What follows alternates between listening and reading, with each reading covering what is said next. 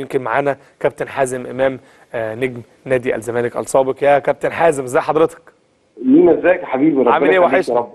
انت أكتر يا حبيبي رمضان كريم. آه، وكل سنة وانت طيب يا رب.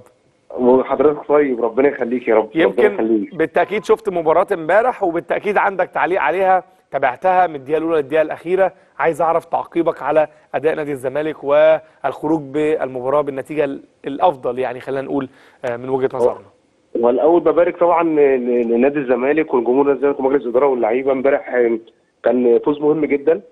يمكن إحنا كنا بقالنا فترة في في الدوري يعني كان الجمهور كان ممكن ما كنتش مش راضي عن الأداء شوية. طبعا. ففي ففي مكاسب ساعات بتيجي توقيتات يعني بت- بتدي الفرقة دفعة لقدام.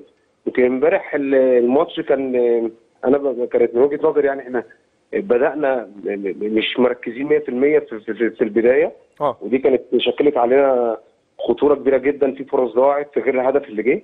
آه. بس الهدف بتاع حمزة المسوسي جه يمكن في توقيت أكتر من ممتاز يعني.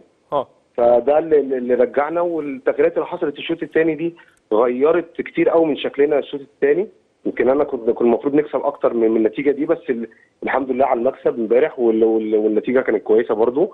والاداء اتحسن جدا الشوط الثاني بسبب التغييرات يمكن أنا كان بيبقى ليا شوية تحفظات على البدايات بتاعتنا كده الطريقة اللي بنلعب بيها ما بتديش مساحة وما بتخليش اللاعب يطلع كل اللي عنده في, في مراكز معينة. فلما بيتعدل الشكل دايما بنقدر نرجع وبيبقى شكلنا كويس بهو شكل نادي الزمالك. فالأهم من كل حاجة إن هو الحمد لله كان في مكسب والحمد لله يعني.